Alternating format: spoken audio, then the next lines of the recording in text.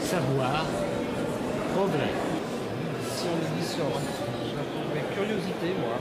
C'est avant tout être curieux, faire de la science. Découverte. Découverte, ça me semble pas mal.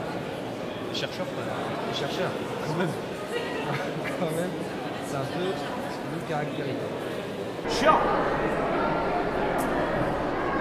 euh, Oui, chiant, euh, compliqué, difficile, mais en même temps assez cool. Super intéressant, mais science, j'aime pas tout. C'est un peu. Avenir, technologie. Avancement technologique. Ouais. Avenir.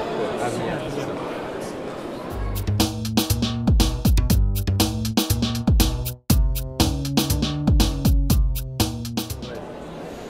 sans science, il n'y a pas de progrès, y a, on ne serait pas là où on en est, on ne serait pas là en train de parler devant une caméra, on serait pas, vous ne serez pas là en train de nous écouter.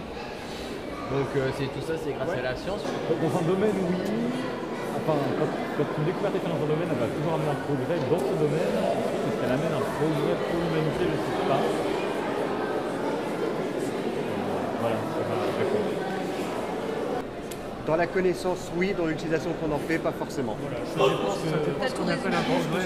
Euh, oui, la science amène toujours un progrès dans la formation des gens qui sont arrivés à faire des découvertes. Elle peut être euh, déviée par des, des gens qui s'en servent au travers, des gens qui ont des, des envies de puissance. Mais la science en tant que telle ne peut qu'amener progrès. Bah non, la Seconde Guerre mondiale, les concentration, ah, parce que c'était des scientifiques là, les Allemands. C'était ah, des bons. Et les, gentils, enfin les gentils.